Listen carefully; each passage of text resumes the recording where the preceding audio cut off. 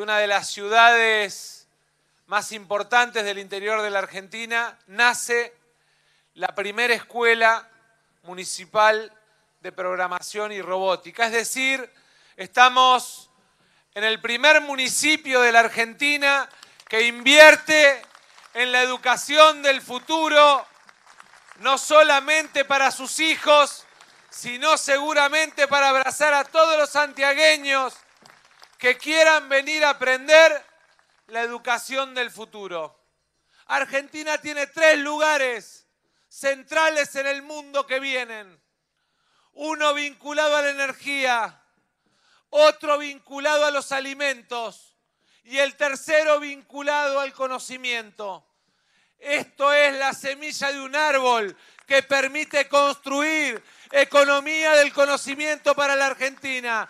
Siéntanse orgullosos. Felicidades la banda por liderar en la agenda del norte argentino la economía y la Argentina del futuro. Muchas gracias.